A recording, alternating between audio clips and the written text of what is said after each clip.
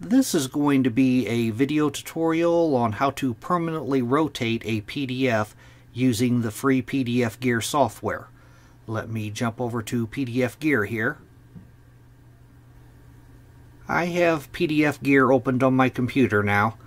To rotate a PDF in PDF Gear, first thing I'm going to do, I'm going to import the uh, PDF that I'm going to rotate. I'm going to go to Open File.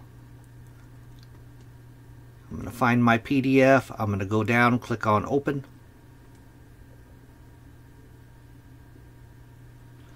And this is actually an 8-page PDF. You could do it with one page or with as many pages as you want. But some of my pages, like if you look at the thumbnails over here, if your thumbnails are not open, you just click on this icon right here to open your thumbnails. If you have a multiple page PDF, I'm going to click on that thumbnail and that reveals your thumbnails. But you, as you can see, some of my thumbnails are sideways. I want to rotate them. I'm going to go to this one here, page uh, 5 of my PDF. I'm going to left click on it to select it.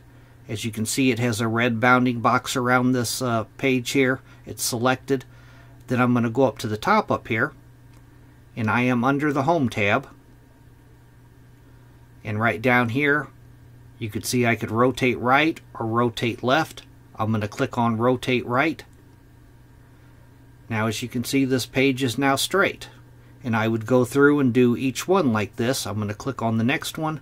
I'm going to go up to the top up here. I'm on the home tab and I'm going to click on rotate right.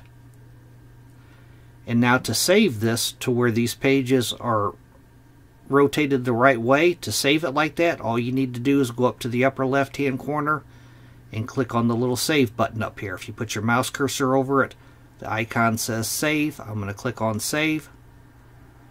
And now this PDF has been saved with the pages rotated. That is how to permanently rotate a PDF using the free PDF gear. Thanks for watching.